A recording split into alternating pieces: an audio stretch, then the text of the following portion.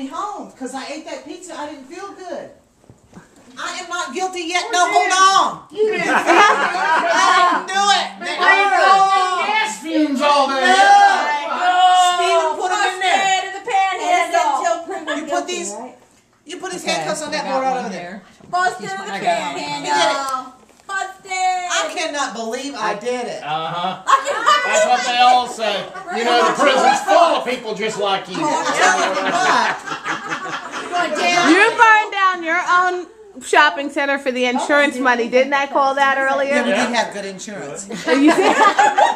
You're the bomb. All right, everybody got your pictures? We'll uh, take those off tomorrow. Hey, come here, Popo.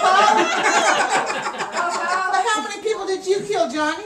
Johnny's dead. Johnny's gone. Forced me with him to arrest Go be like that already. I just look like Johnny. Hey, but we still have some more. And who? members that- Yeah, who is Nate? No, she's Who is Nate? Is Nate? Yeah, are you a CIA agent? Okay, everyone sit I'm down. trying to get in the biz, music biz. Oh. Told you I was good. Who? Who's the CIA agent? Now everybody has time. They never existed, huh? Okay. Uh, where's? Well, Jenny and Johnny are both dead. What were your secrets, Jenny and Johnny?